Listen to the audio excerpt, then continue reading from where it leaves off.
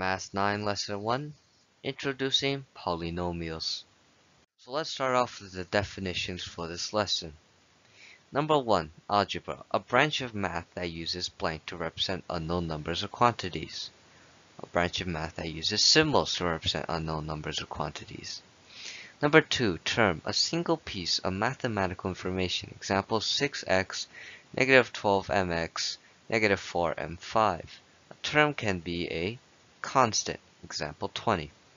Number 3. Polynomial. A general term describing an algebraic expression made up of terms connected by a minus or a plus. It can be a monomial, binomial, trinomial, etc. Number 4. Monomial.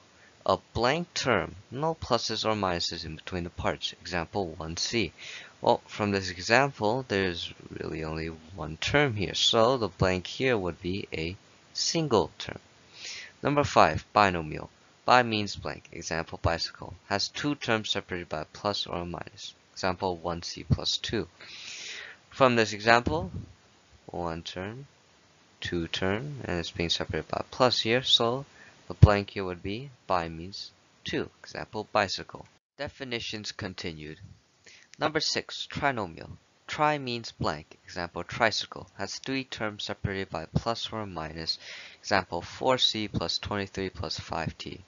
Well, we can see from this example, there are three terms here because they are separated by plus, so in the blank, tri means 3. Example, tricycle. Number 7. Degree of a term. The sum of the exponents on the variables in a single term, in a single term. So we'd add the exponents. Example, 5m to the power of 6, c to the power of 3. See here, this is a single term. So we would add these exponents here which would give us the degree would be 9 as we add the exponents. Number 8. Degree of a polynomial. The degree of the highest degree term in a polynomial. Pick the term with the highest degree. Example 7m cubed minus 5m squared b to the power of 4. Oh, well, from this example, we can see that these are two different terms. So, back to degree of a term, the sum of the exponents of the variables in a single term in a single term. So what we do is we'd add all of these separately. So we'd add 2 and 4 together, which is 6. But And for this, well, it's only 3 here, so it's just 3. So which one is the highest degree out of all of these? 6. Number 9, coefficient. Number in front of a variable. Example 8b. The coefficient is 8. Because this is a variable, so the number in front of that variable is 8. Number 10, constant. A number in an expression not in front of a variable. Example, 3m minus 11. The constant is negative 11 because here is a variable. Here is the coefficient and the number 9 in front of the variable is negative 11.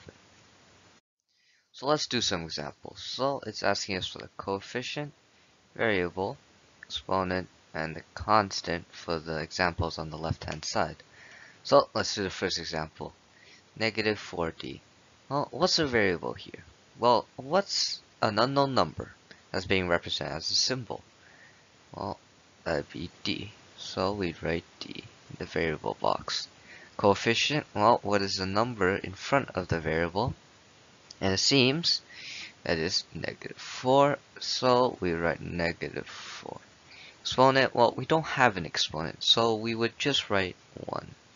And for the constant, well, again, we don't see any constant as there's no numbers not in front of the variable. So to represent that, we put a 0 a dash to represent we do not have a constant. Alright, next example, 8p minus 2. Well, what's a variable here? What is the number that is unknown and being represented as a symbol? That'd be p. Right, p right here. Coefficient, well, coefficient number in front of the variable is 8. So right, 8. Exponent, well, we don't really have an exponent like last time, so we just put 1 one more time. And for the constant, well, we do have a constant this time, which is negative 2, as it is not in front of the variable. So, negative 2. Next example, 3m to the power of 4 minus 2q plus 11. The variable here, well, it's a bit different this time as we have two variables, q and m. and we would add these. We put both in the variable box. For the coefficient, well, what are the numbers in front of these variables, m and q? Seems to be 3 and negative 2. So we write 3, negative 2. Exponent, we have an exponent this time, right here, which is 4. And for the constant, we also have a constant, which is right here, because it is not in front of the variable, so that's 11. Final example, negative 2m to the power of 5 plus 5m to the power of 2 minus 7. The variable, well, there's two m's here, but we not add them together. We just put one m. Uh, for the coefficients, well, what are the numbers in front of these variables? Well, it seems to be negative 2 and 5. So we write negative 2 and 5. Exponent, well, we have two exponents here. We will not add them. We just put them down. 5 and 2. And the constant, well, the constant, the number not in front of variables is negative 7. So let's try example number 2. On the table right here, it is asking us for the number of terms, its name, and the degree for the examples on the left hand side. So let's do example number 1. 2m to the power of 3 minus 1. Well, how many terms are there? Well, there seems to be only two terms as is being separated by a minus here. So, number of terms we put 2, and the name for this one, of course, is binomial. And for the degree, well, since we only have one exponent here and no other exponents anywhere else, the degree here would be 3. Alright, example number 2. 3m to the power 4, b to the power 6. Well, nothing is being separated by a minus or a plus. So, this is a single term.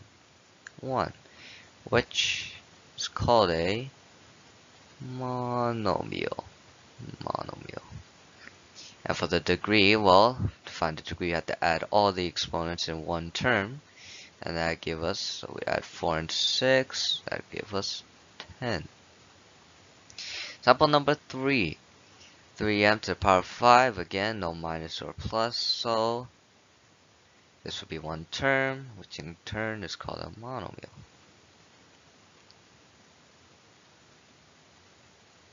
And the degree, well, there's only one exponent here. Don't need to add anything else, so it is just 5. Alright, example number 2. m to the power of 3 minus 5, m to the power of 2 plus 2. Well, there seems to be three terms here as it's being separated by a plus and a minus, so three terms, which in turn is called a trinomial.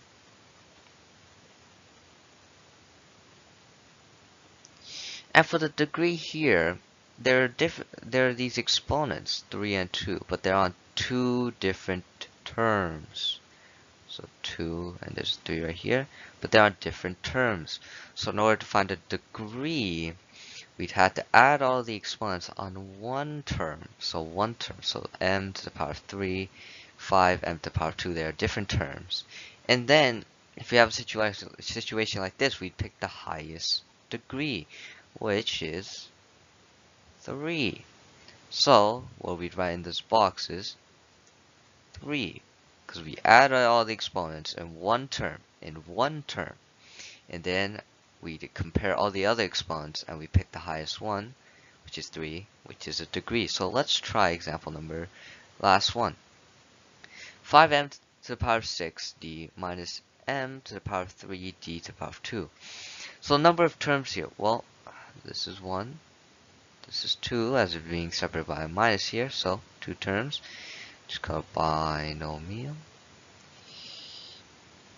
And using the logic we use for this last example here, we'd add all the exponents in one uh, term. So 5m to the power 6 and d, which there's a 1 here d to the power of 1. So 5 m to the power of 6, d to the power of 1. We add those together, give us 7. The next one, m to the power of 3, d to the power of 2. We'd add those together in 5. So 7 over 5, this 7 right here is the highest degree. So then we would put 7 because it is the highest exponent and that's the highest degree. So let's try example number 3. Label each algebra tile and write an expression for each set of algebra tiles. Well, let's check out example number 1. Well, there are three shaded in big boxes, two shaded in long sticks, and four shaded in small boxes. Let's identify these. So anything that is shaded in will be positive, and anything that's not shaded in will be negative. And so these are shaded in, so all of, all of these will be positive. So let's identify the squares. The big squares are x squared. These long sticks, they are just x, and these small cubes just equal 1. So we just count them and add them to an expression. So our three x squares, or three big boxes here. So put 3x squared, so 3x squared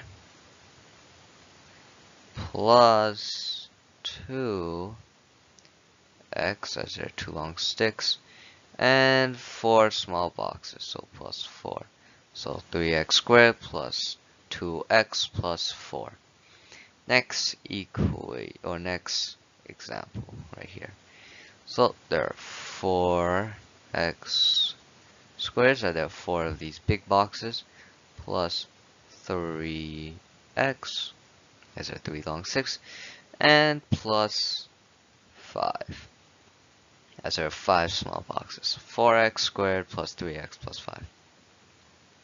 Number 3, again, this is 4x as they're just 4 long sticks. Except these small boxes aren't shaded in, so they're negative. So 4x minus 3. Alright, moving on. Number 4, well, they're negative 4x squared, so negative 4 big boxes minus 1x, so that just be x, plus 6, as it is shaded in. Uh, so that's how you do it.